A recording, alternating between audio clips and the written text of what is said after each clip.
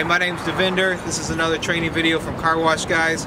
Today we're going to talk about a vacuum boom. You got a clogged vacuum boom or just some vacuum booms that need some maintenance. I'm going to show you how to clean them out properly, get them all ready for all your customers who are ready to use them.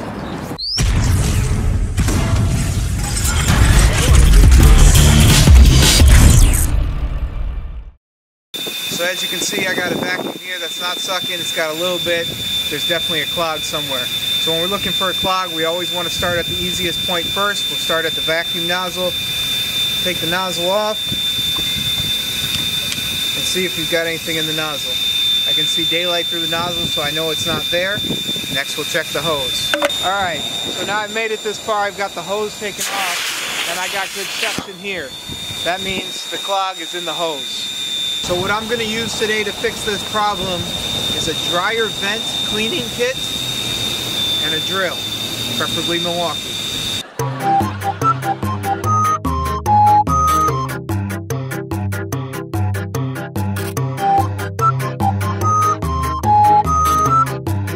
Most important thing to remember when you're using this, don't go in reverse. Reverse it, one of your sections is going to unscrew, and you're going to be fishing for a dryer vent cleaner out of your boom.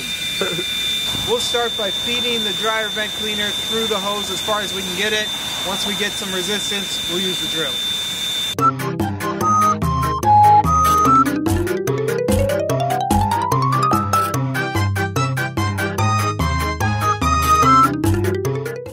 Even when you're pulling it out, again, don't go in reverse, just keep it spinning forward and pull out the hose. Should have broken up whatever was in there causing the clog. We'll hook it back up, see if it sucks.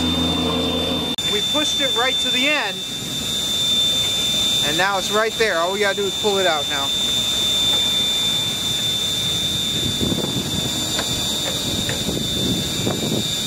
And it was a uh. sock. Gotta love it. So we got the sock out. We got good suction here. Put the vacuum nozzle back on. Let the customer come back. Clog it up again. It's a good idea to maybe about once a season clean out not only your hoses but also your booms. Go through the whole system, make sure everything is working properly. Nothing's going to build up, you're not going to get crud in there, especially when there's moisture sometimes going through the system, that stuff builds up. Use the dryer cleaning vent kit to clean out the whole system and keep everything working good for your customers. That'll keep them coming back. Thanks for watching Car Wash Guys video on cleaning your vacuum system. For more videos, check out our YouTube, check out our Facebook page. Stay tuned, we'll always have more stuff coming to you.